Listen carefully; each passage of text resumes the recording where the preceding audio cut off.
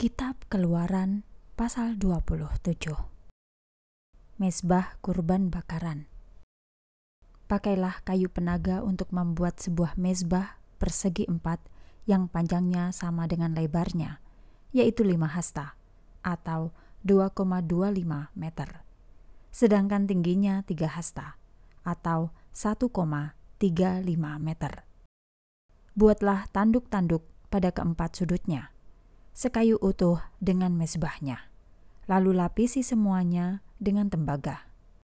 Tadah abu, penyodok, bokor-bokor, pengait kurban bakaran atau garpu-garpunya, dan perbaraan-perbaraannya harus dibuat dari tembaga. Buatlah sebuah kisi-kisi dari tembaga dengan sebuah gelang emas pada setiap sudutnya dan pasanglah kisih-kisih itu di dalam tempat api, bertumpu pada jalur yang dibuat di situ pada setengah tinggi mesbah. Buatlah kayu pengusung dari kayu penaga yang dilapisi tembaga.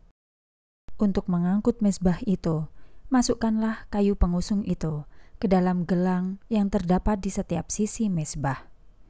Mesbah itu harus berongga, terbuat dari papan-papan seperti yang diperlihatkan kepadamu di atas gunung. Pelataran kemah suci. Lalu buatlah pelataran untuk kemah suci itu, yang sekelilingnya ditutup tirai dari kain lenan halus. Pada sisi sebelah selatan dipasang tirai sepanjang 100 hasta atau 45 meter. Ditopang oleh 20 tiang yang bertumpu pada 20 buah alas tembaga.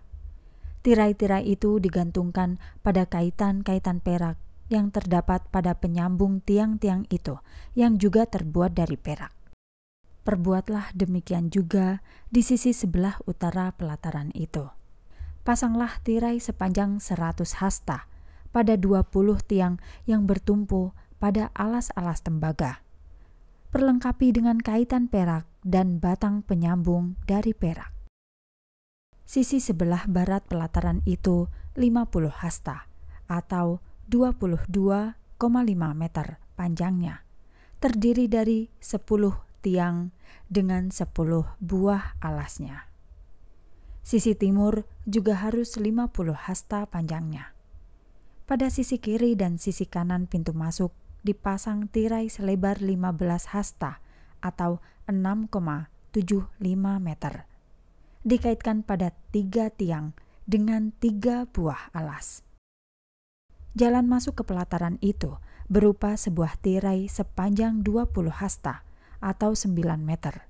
Dari lenan halus bersulam yang berwarna biru, ungu, dan merah tua, dikaitkan pada empat tiang yang bertumpu pada empat buah alasnya. Semua tiang di sekitar pelataran itu harus dihubungkan satu sama lain dengan penyambung-penyambung dari perak yang dilengkapi dengan kaitan-kaitan perak. Tiang-tiang itu bertumpu pada alas-alas tembaga.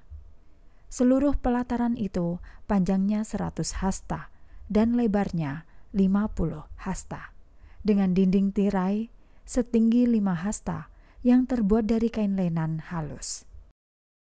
Semua perkakas yang dipakai sebagai perlengkapan kemah suci ini, termasuk segala patok serta pakunya, juga patok untuk menggantungkan semua perabot pada dinding, harus dari tembaga.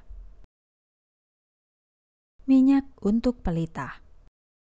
Perintahkan kepada orang Israel agar membawa kepadamu minyak zaitun yang murni untuk pelita kemah suci, supaya selalu menyala. Harun dan putra-putranya harus menaruh pelita yang selalu menyala itu di dalam kemah pertemuan di luar tirai dan mengaturnya siang malam di hadapan Tuhan, supaya tidak pernah padam.